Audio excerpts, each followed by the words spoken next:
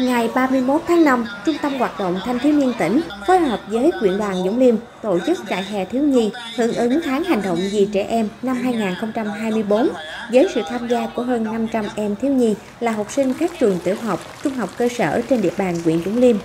Trại hè diễn ra với các hoạt động sôi nổi, hấp dẫn như thi rung chuông vàng chủ đề hai lời muốn nói, thi dựng trại, thi kể chuyện theo sách, hội thi nghi thức đội, phố trò chơi nhân gian, trò chơi vận động có thưởng và tuyên truyền phòng chống ma túy. Dịp này, ban tổ chức cũng trao tặng 80 phần quà cho các em thiếu nhi nghèo có hoàn cảnh đặc biệt khó khăn. Hoạt động nhằm tạo sân chơi lành mạnh, bổ ích, tạo điều kiện cho các thiếu nhi được giao lưu, rèn luyện và phát triển năng khiếu bản thân. Qua đó, góp phần nâng cao nhận thức, trách nhiệm của mỗi gia đình, cộng đồng và toàn xã hội đối với nhiệm vụ chăm sóc, bảo vệ và giáo dục trẻ em.